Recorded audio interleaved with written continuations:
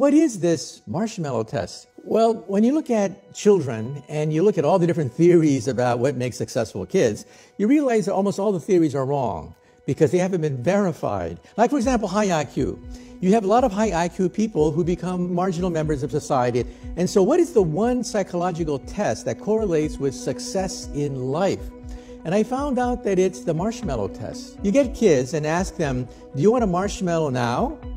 Or two marshmallows a few hours from now?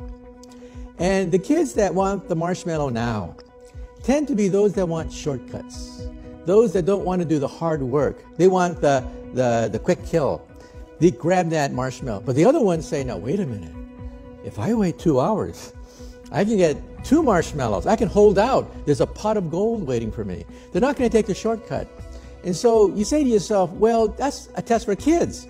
But then you track them decade by decade by decade. And you find that they are more successful, they have a lower divorce rate, higher income, higher status in society, that don't want that simple uh, payoff now, but are going to delay gratification into the future. And so I realized that that's the key to success in life, not just science, but in life. Don't take the shortcuts. But can it be taught? Well, part of it is um, your personality that is formed when you're very young. Okay, Let, us be very clear about that. But I think that, yes, I think that, um, for example, it turns out that if you do the same thing with poor children and the same thing with middle class children, it turns out that poor children will, in general, go for the, for the quick kill because they know that things disappear real fast. Uh, if there's money in the house, it's gone in the future. If you can show people that there is a pot of gold out there, that yes, you hold out, you go to college, you'll learn the discipline, there's a pot of gold out there. You can learn to appreciate that fact. What we have in the brain that is different from animals is we understand time we understand the future. My grandparents came to California a hundred years ago. But imagine, back then, life expectancy was 49 years of age. I mean, you were born, you had kids, and died. Life was a bitch.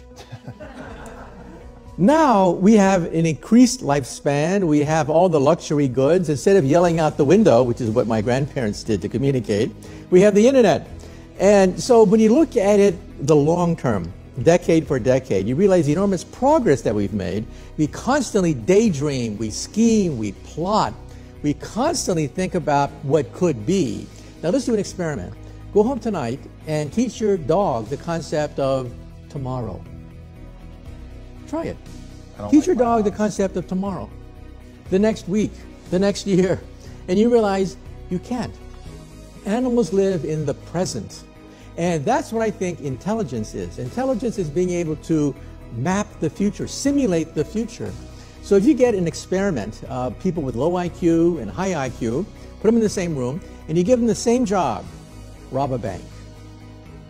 You'll find out that the low IQ people probably do a much better job of robbing a bank, plotting the bank robbery, than high IQ people who get all messed up with legal implications and stuff like that.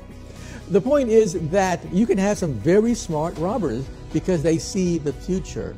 And that's what we humans do that animals cannot. We constantly daydream. We constantly create worlds that don't exist. And to me, that's what intelligence is. Some people ask me, well, what is the meaning of life then? And I say to myself that if somebody gives you from up high the meaning of life, it's too easy. I mean, is that all? My attitude is that it's self discovery we have to reinvent ourselves, that we have to recreate ourselves, that the meaning of life is rediscovery.